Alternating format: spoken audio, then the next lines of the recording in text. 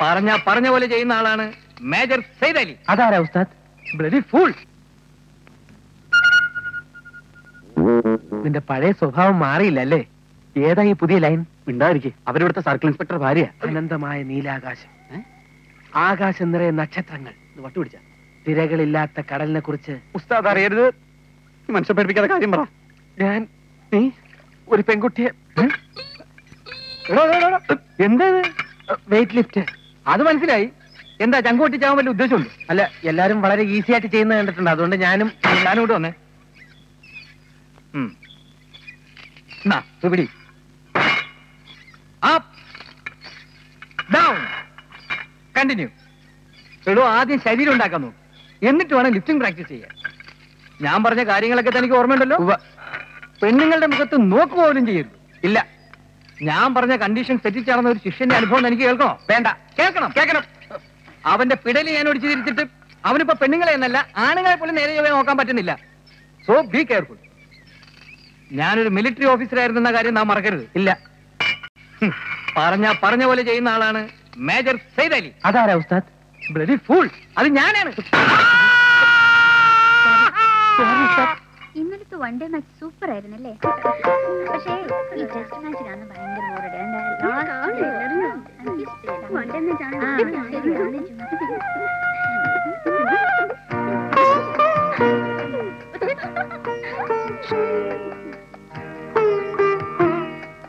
Sorry sorry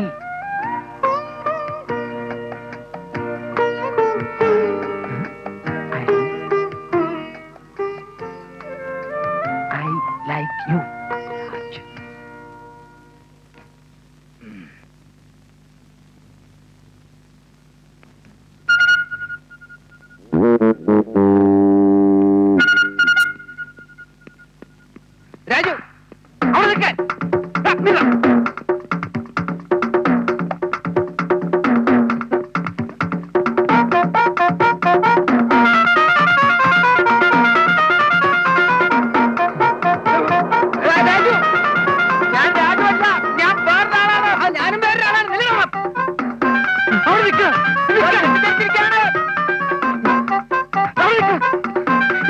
ഓടിക്കില്ലേ? എനിക്ക് പുരുഷാപം കിട്ടും.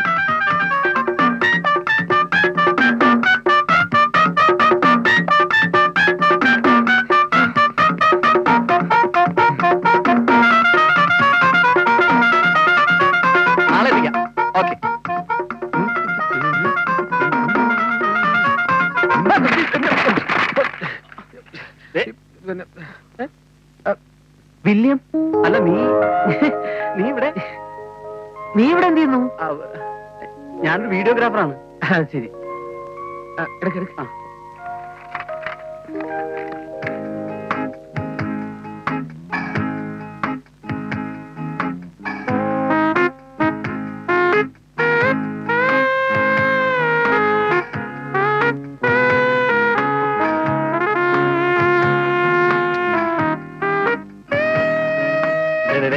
അതേലിട്ട് പണിയല്ലേ വലിയ എം എ കാരനാണെന്ന് പറഞ്ഞ് ഞെളിഞ്ഞിട്ട് എന്താടാ കാര്യം. ആദ്യമൊക്കെ നീ പറഞ്ഞുകൊണ്ട് നടന്നത് ഒരു ഐ പി എസ് ഓഫീസർ ആവണമെന്നാണ്. അത് കിട്ടാതെ വന്നപ്പോ ഒരു എസ് ഐ ആവണമെന്നുള്ളതാണ് നിന്റെ ഏറ്റവും വലിയ അഭിലാഷം എന്ന് പറഞ്ഞു.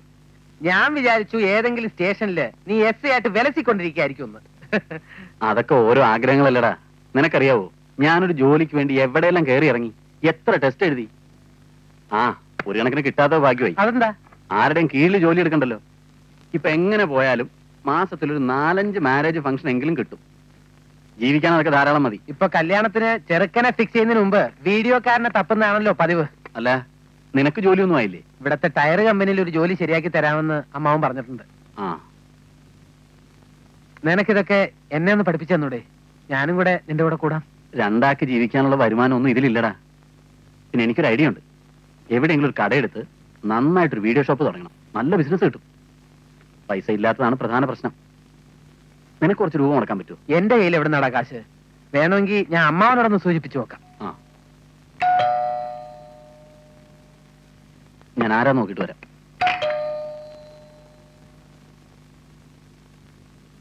ആഹാ കുറച്ച് ദിവസം ആയാലും ഇങ്ങോട്ടൊക്കെ കണ്ടിട്ട്. മോക്ക് പരീക്ഷയായിരുന്നു. ആ. ഇന്നത്തെ പ്രോഗ്രാം? ഏയ് ഇന്ന് പ്രത്യേകിച്ച് പ്രോഗ്രാം ഒന്നുമില്ല ചേട്ടൻ നേരത്തെ എത്തിയാൽ മോളെയും കൊണ്ടൊന്ന് പാർക്കിൽ പോണെന്ന് പറഞ്ഞിരിക്കുക അയ്യോ ഞാൻ ഉദ്ദേശിച്ചത് ഇന്നത്തെ പ്രോഗ്രാം സിനിമയുടെ കാസറ്റാ നോക്കി നിൽക്കാതെ പോയാൽ കാസറ്റ് എടുത്തോണ്ട് വാ. അയ്യോ ഞാൻ വിചാരിച്ചു. അതെ അതെ ഇപ്പോഴത്തെ ഒരു സിനിമയുടെ പേരേ. ശരി വരട്ടെ. നിന്റെ പഴയ സ്വഭാവം മാറിയില്ല അല്ലേ? ഏതാ ഈ പുതിയ ലൈൻ ഉണ്ടായിരിക്കും അവരിവിടുത്തെ സർക്കിൾ ഇൻസ്പെക്ടർ ഭാര്യ ഞാനിങ്ങനെ പറഞ്ഞൊന്നും അങ്ങേരോട് പറയല്ലേ? എനിക്ക് ഇടി പേടിയാ. ആ ഇവിടെ കറങ്ങി നിൽക്കാണ്ട് പോയ അമ്മാവനെ കണ്ട് ആ വീഡിയോ ഷോപ്പ് തുടങ്ങാനുള്ള പൈസ സംഘടിപ്പിക്കാൻ പറ്റുമോ നോക്ക്. ഞാൻ പറഞ്ഞു നോക്കാം. പറഞ്ഞു നോക്കിയാ പോരാ. പറഞ്ഞു നടത്തണം. ചെല്ല്.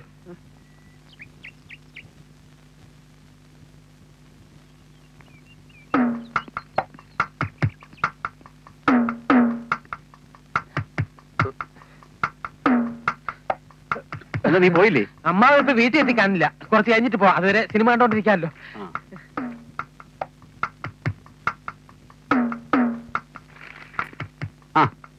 വീടെത്തി ഉസ്താദെ. ശ്വാസം വിട്ടൂടെ? ഓ ഞാനത് മറന്നു. ഇന്ന് ജിമ്മി പോയില്ല? പോണം. ഒന്ന് കുളിച്ചിട്ട് പോവാമെന്ന് കരുതി. സാധാരണ ആളുകൾ വന്നിട്ടാണല്ലോ കുളിക്കാറ്. അതൊക്കെ സാധാരണ ആളുകൾ. ഞാൻ എങ്ങനെയാണോ ഓഹോ. അതെ നാട്ടിൽ നിന്ന് എന്റെ ഒരു കൂട്ടുകാരൻ വന്നിട്ടുണ്ട്. ജിമ്മാണോ? ഓ അല്ല. രാജു? വാ നമുക്കൊന്ന് പരിചയപ്പെടാം. രാജു?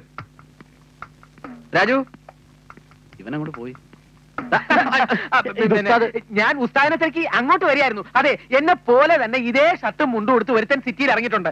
അവൻ സുന്ദരികളായ പെണ്ണുങ്ങളെ നോക്കി കണ്ണും മൂക്കൊക്കെ ഒക്കെ കാണിക്കുന്നുണ്ട്. ഇനി അവനെ എങ്ങാനും കണ്ടിട്ട് ഞാനാണെന്ന് ഉസ്താദ് തെറ്റിദ്ധരിക്കരുത്. ഞാൻ തെറ്റിദ്ധരിച്ചു. കണ്ട ഞാൻ പറഞ്ഞില്ലേ? പറഞ്ഞു? പറഞ്ഞു പറഞ്ഞു നേരത്തെ പറഞ്ഞു. പറഞ്ഞു പറഞ്ഞു പറഞ്ഞു. അല്ല അപ്പൊ നിങ്ങൾ തമ്മിൽ നേരത്തെ അറിയോ? അറിയുന്നു. ഇവൻ എന്റെ അരുമ ശിഷ്യനല്ലേ? അതല്ലേ എന്നോട് തന്നെ അമ്പരിടാൻ നടക്കണത്. എടാ പെമ്പിള്ളേരുടെ വായിൽ നോക്കി നടക്കണെന്ന് പറഞ്ഞിട്ട് അവരുടെ കൈയും കാലും കാണിക്കുന്നു. ഇനി മേലാൽ ഉണ്ടാകത്തില്ല. ഈ കൈ ഒന്ന് അയച്ചാൽ പറ ഒന്ന് അയച്ചു കൊടുക്ക. ഒന്ന് അയച്ചു കൊടുക്ക. ഉസ്താദ് എന്താ ഇങ്ങോട്ട് വന്നത്? ഉസ്താദ് പിന്നെ എങ്ങോട്ട് പോകും ഉസ്താദ് ഇവിടെയല്ലേ താമസിക്കുന്നത്? വീഡിയോ ഷോപ്പ് പോലെ ലാഭമുള്ള ഒരു ബിസിനസ് ഇപ്പൊ വേറെ ഇല്ല അമ്മാവ. ഒരു കാസറ്റിന്റെ ഒരു ദിവസത്തെ വാടക പത്ത് രൂപയാ. ഏറ്റവും കുറഞ്ഞത് പത്തിരുന്നൂറ് കാസറ്റ് എങ്കിലും ഒരു ദിവസം ചെലവാകും.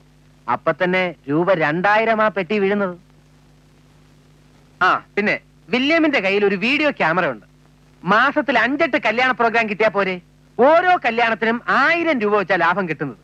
വില്യം എന്നെ കൂടി പാർട്ണർ ആക്കാമെന്ന് പറഞ്ഞതിന് എന്റെ ഭാഗ്യം. രാജുട്ടും വീഡിയോ കട തുടങ്ങിയ എല്ലാ സിനിമയും നമുക്ക് കാണാല്ലേ? അതിന് ഇവിടെ V C R V C P ഒന്നും ഇല്ലല്ലോ സിനിമ കാണാൻ. കട തുടങ്ങിയാ പിന്നെ നമ്മൾ വി സി ആർ വാങ്ങില്ലേ അമ്മായി? പിന്നെ എല്ലാ ദിവസവും ഓരോ സിനിമ വീതം നമ്മൾ ഇട്ട് കാണും. ആ ഇനത്തിൽ തന്നെ എന്തുമാത്രം രൂപ നമുക്ക് ലാഭിക്കാമെന്ന് അമ്മ അവനൊന്ന് കണക്കാക്കി നോക്കിയേ. കൂടുതൽ ആലോചിക്കാനൊന്നുമില്ല അമ്മാവ. പതിനായിരം രൂപ മുടക്കിയാൽ ഒരു മാസം കൊണ്ട് അമ്മാവന് മുടക്കിയ കാശും അതിന്റെ പലിശ തിരിച്ചു കിട്ടും. പിന്നെ കിട്ടുന്ന മുഴുവൻ ലാഭമല്ലേ? നിങ്ങൾ ഈ ബാഗും തൂക്കി വെയിലും കൊണ്ട് വായിലെ വെള്ളവും വറ്റിച്ച് നടന്നിട്ട് എന്താ കിട്ടുന്നത്? ഒന്നുമില്ലെങ്കിൽ അന്തസ്സുള്ളൊരു ബിസിനസ് അല്ലേ ഇത്? പ്ലീസ് അമ്മാവാ. ആ ശരി. ഞാൻ നിന്റെ കൂട്ടുകാരനുമായിട്ട് ഒന്ന് സംസാരിച്ചു നോക്കട്ടെ.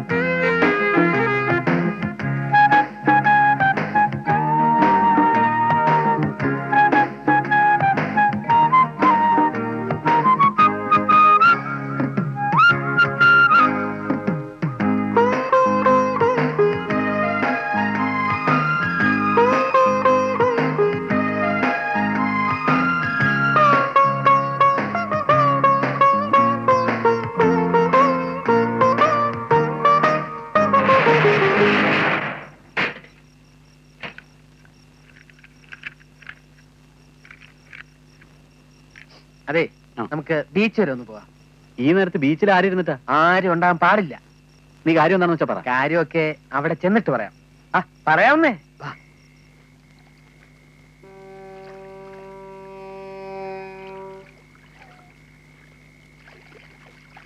അല്ല കുറെ നേരം ആയല്ലോ. നീ എന്താ പറയാനുണ്ടെന്ന് പറഞ്ഞത്? പറയുന്നെങ്കിൽ പറ. അനന്തമായ നീലാകാശം? ആകാശം നിറയെ നക്ഷത്രങ്ങൾ. വട്ടുപിടിച്ച. തിരകളില്ലാത്ത കടലിനെ കുറിച്ച് എന്താ വില്യം നിന്റെ അഭിപ്രായം? എന്താ നിന്റെ ഉദ്ദേശം? ദേ ഒരൊറ്റ വീക്കം വെച്ചെന്നാലുണ്ടല്ലോ. നീ എന്നോട് ദേഷ്യപ്പെടരുത്. നിന്നോടല്ലാതെ എനിക്ക് വേറെ ആരോടും പറയാൻ പറ്റില്ല. എന്താ കാര്യം? ഉസ്താദ് അറിയരുത്. മനുഷ്യ പഠിപ്പിക്കാത്ത കാര്യം പറ. ഞാൻ നീ ഒരു പെൺകുട്ടിയെ കൊന്ന സ്നേഹിച്ചു പോയി. ഓ. ഞാൻ വിചാരിച്ചു നീ ആരെങ്കിലും കൊന്നിട്ട് വന്നിരിക്കാനെന്ന് അതെ ഏതാ പെണ്ണ്? അമ്മാവന്റെ വീട്ടിനടുത്താ താമസം. പേര് ശ്യാമ. ഇവിടെ പ്ലസ് ടുവിന് പഠിച്ചോണ്ടിരിക്കുക ആ ഡീറ്റെയിൽസ് ഒക്കെ അവിടെ നിൽക്കട്ടെ. അവൾക്ക് നിന്നോട് എങ്ങനെ? ഇഷ്ടമാണോ? അല്ലെന്നും ആണെന്നും പറയാൻ പറ്റില്ല. ചിലപ്പോ എന്നെ കാണുമ്പോ ചിരിക്കും. അതിപ്പോ നിന്നോട് ഇഷ്ടമുള്ളതുകൊണ്ട് ആയിക്കൊള്ളണമെന്നൊന്നുമില്ല. പിന്നെ ഇഷ്ടമുണ്ടോന്ന് അറിയാൻ എന്താ ഒരു മാർഗം? അതിനെപ്പറ്റി ചർച്ച ചെയ്യാനാ ഞാൻ നിന്നെ ഒരു കാര്യം ചെയ്യാം. ഒരു ലവ് ലെറ്റർ കൊടുത്തു നോക്കാം. പ്രതികരണം എന്താണെന്ന് അറിയാമല്ലോ. നിനക്കാവുമ്പോ ഈ ലവ് ലെറ്റർ കൊടുത്തും പ്രേമിച്ച് നല്ല എക്സ്പീരിയൻസ് ഉണ്ടല്ലോ. നീ എനിക്ക് വേണ്ടി ഇംഗ്ലീഷിൽ ഒരു എഴുത്ത് എഴുതി തരണം അതിന് ഇംഗ്ലീഷിൽ അവൾ ഇംഗ്ലീഷ് മീഡിയത്തിൽ പഠിച്ചോണ്ടിരിക്കുകയാണ്. ഞാൻ മലയാളത്തിൽ എഴുതി കൊടുത്താ മനസ്സിലാവൂലേ? അതല്ല എന്റെ സ്റ്റാൻഡേർഡ് കുറവാണെന്ന് വിചാരിക്കില്ലേ? അതിപ്പോ ഇംഗ്ലീഷിൽ എഴുതി കൊടുത്താലും നിന്റെ സ്റ്റാൻഡേർഡ് അവൾ മനസ്സിലാക്കും. അവൾ അമേരിക്കയിലൊന്നും അല്ലല്ലോ ജനിച്ചത്. മലയാളത്തിൽ എഴുതി കൊടുത്തിട്ട് നിന്നെ പ്രേമിക്കുന്നെങ്കിൽ പ്രേമിച്ചാൽ മതി. അല്ലെങ്കിൽ പോവാൻ പറ.